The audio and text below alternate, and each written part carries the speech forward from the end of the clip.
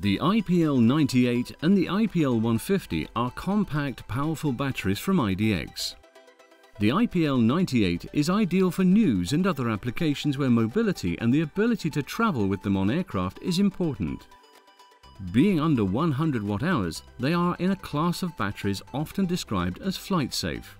An unlimited number can be carried on board an aircraft as cabin baggage. The IPL150 is a more powerful battery offering extra runtime compared to the IPL98. Two can be carried on board as aircraft baggage, so they are an ideal solution where extended runtimes are needed by IPL98 users. Both batteries carry a label with a QR code to access the relevant regulations. Typically, the runtime of a battery is limited by the need to meet flying regulations, but the IPL98 is different. It can be power linked to other IPL batteries increasing the effective capacity. In fact, 24 hour a day running is supported as typically all the draw is taken from the last battery linked to the camera and when it runs down it can be replaced by another fully charged IPL battery. Keeping a supply of fully charged batteries is made easier by the ability to stack multiple batteries on the IDX VL 2000S charger. With over 30 years experience, you would expect IDX to get the ergonomics right and the battery feels right with tactile grip in all the right places.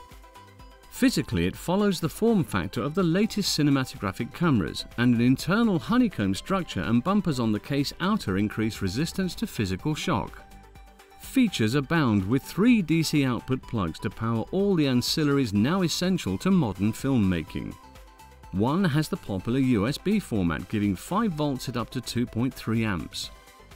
There is a conventional DTAP and a DTAP Advanced which allows controlled charging of the battery from the compact and low-cost IDX charger, the VL-DT1.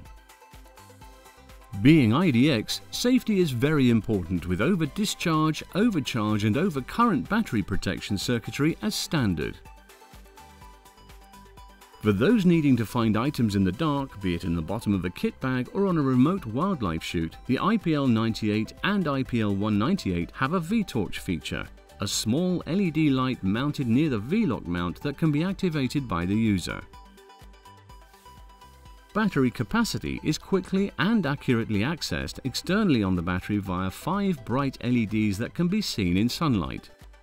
For those with equipment able to read the capacity digitally, this feature is supported, potentially giving the camera user available runtime in the viewfinder.